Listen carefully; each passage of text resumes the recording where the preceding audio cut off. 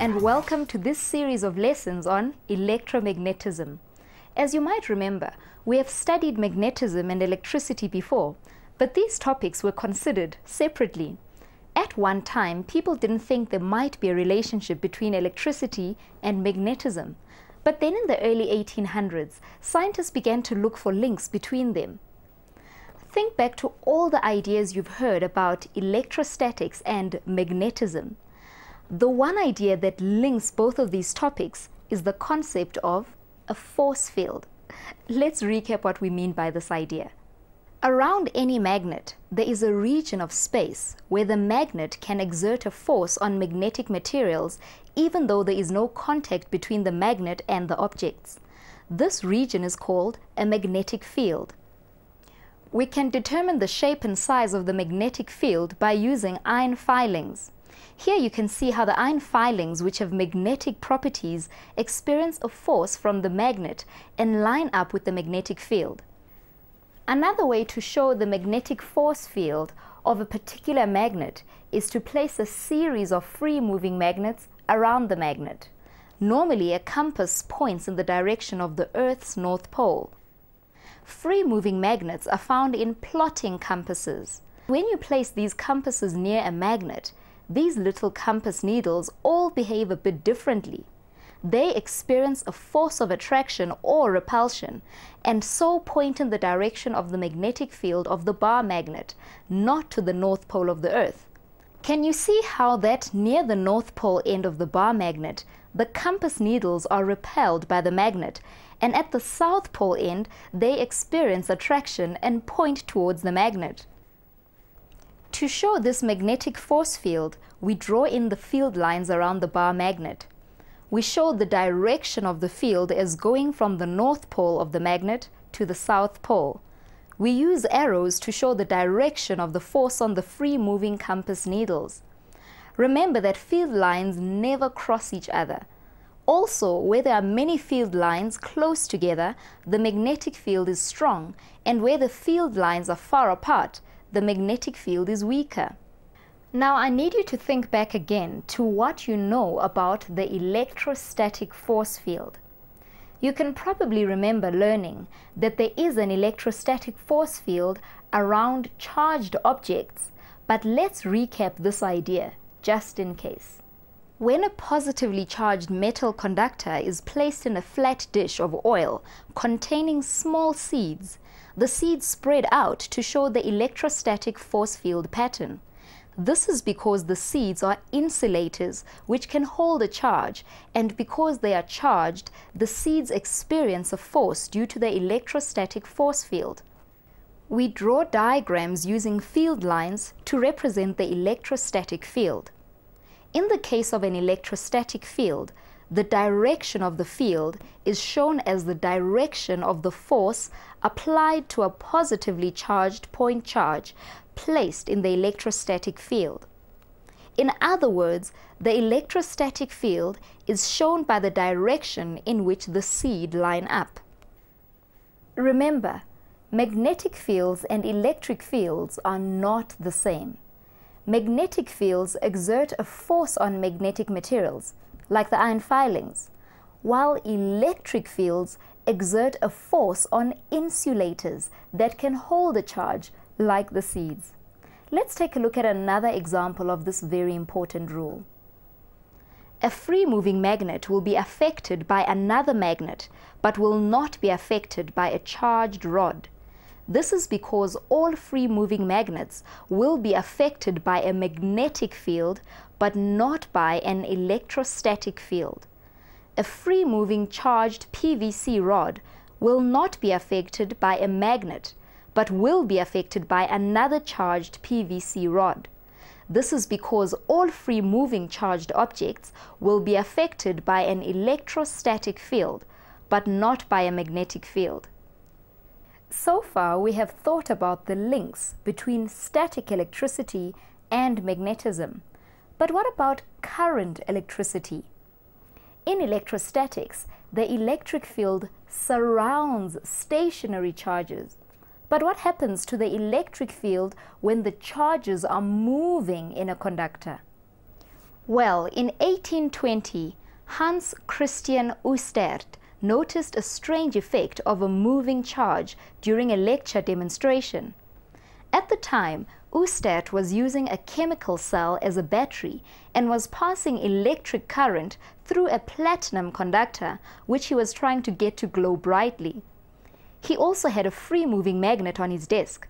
He noticed during the experiment that every time an electric current passed through the conductor, the magnet moved to a new position. When the electric current was turned off, the magnet returned to its original position. Oersted had made a major discovery in front of his students. The charges moving in the conductor had created a force field that affected a free-moving magnet. Now we all know that the only thing that can affect a free-moving magnet is a magnetic field.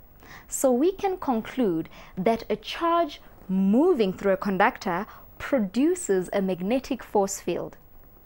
Oersted's discovery showed the first link between current electricity and magnetism, and it is this link that we are going to explore in this series of lessons. In this lesson, we will investigate the relationship between the electric current in a conductor and the magnetic field around the conductor in more detail. By the end of this lesson, you should be able to draw a diagram to represent the magnetic field around a straight current carrying conductor. Right, let's get started with the experiment. To begin our investigation, have a look at the apparatus I have here. I have a piece of copper wire that passes through a piece of stiff cardboard at right angles to the cardboard.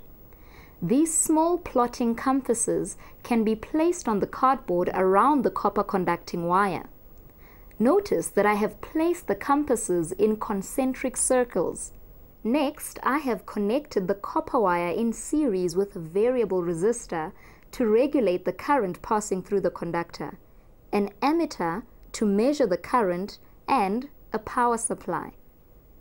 Now I'm going to turn on the power supply and you need to look carefully at what happens to the compasses.